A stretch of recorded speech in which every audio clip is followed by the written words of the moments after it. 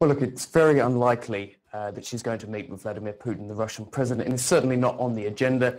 And these are two politicians of, at this point, very different levels. The Russian president, clearly the president, uh, Marine Le Pen coming at the moment as candidate for uh, the French presidency. So let's get that out of the way. It seems very unlikely. So who will she be meeting?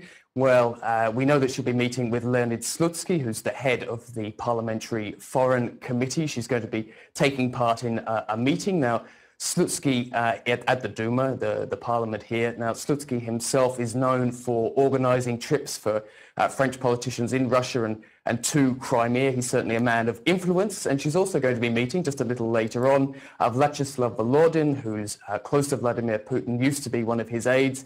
He's now Speaker uh, of Parliament. Now, these are both men of uh, significant clout in Russian politics. If Marine Le Pen wanted to meet people of influence, these are certainly two of uh, the men that she would uh, have chosen. Now, they say that they're going to be talking about broad questions of international uh, politics or the fight against terror. But certainly one thing that's going to be at the front of Marine Le Pen's mind here is the question of how she's going to finance her party as she goes into the first and potentially the second rounds of the Russian, of the, uh, the French uh, presidential uh, elections. Now, she did receive 9 million euros from a Russian-based bank back in 2014. That bank has since gone bankrupt. She's been looking for money elsewhere from a US bank, for example, uh, at the end of, the, in the middle of last year. That didn't turn out. So what she does have when she comes to uh, Russia, and which she is in Russia now, uh, is a big hole in her bank account that she could perhaps be looking to fill.